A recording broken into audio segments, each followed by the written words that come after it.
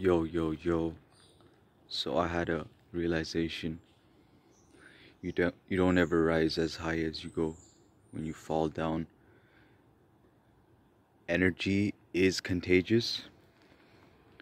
And it's valuable to value your own energy above all else because it is toxic not to be toxic in a situation where toxicity grows, right? It's just like it's not about disassociating yourself, it's about having boundaries. And boundaries are always difficult because you are in a vessel. So be possessed, don't be possessed. Either way, you win. Because you are, right?